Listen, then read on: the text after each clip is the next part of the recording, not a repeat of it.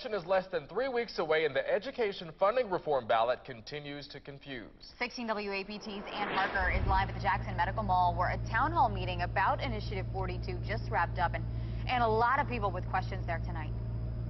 Yeah, and it took nearly 200,000 signatures to get Initiative 42 on the ballot. And tonight, some of them came out to find out what Initiative 42 actually means and says for public schools across Mississippi. Uh, I'm a parent, grandparent, and all of us want what's best for our children. U.S. Congressman Benny Thompson and State Senator Sollie Norwood say the future of Mississippi's children depends on Initiative 42 passing November 3rd. Parents and teachers having to raise money to provide supplies for their students. Something's wrong with that. If passed, initiative will force the legislature to fully fund public schools, something teachers tell us would make a huge difference in preparing students for the future. So just think, learning is just not about sitting in a chair being tested. It's about experiencing life.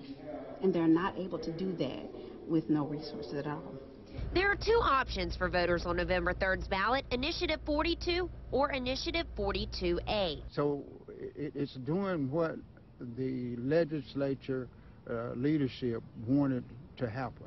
To say that it was put on there intentionally, intentionally to confuse people, I just, I'll just have to uh, respectfully disagree with my colleague. The biggest difference in Initiative 42 and 42A. 42 is going to make the funding available, will, will make sure that the money uh, that the state would allocate to fund 42A doesn't do anything. I mean, it's just basically the status quo.